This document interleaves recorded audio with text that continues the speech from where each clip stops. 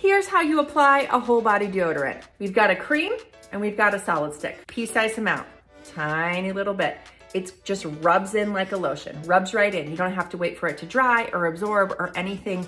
Anywhere you have odor you wish you didn't. Nooks and crannies, butt crack, under boob, tummy fold, cream stick applicator. so Same cream. You don't have to touch it. You just swipe it and it goes on. Our solid stick. Now this looks white, but it goes on completely clear.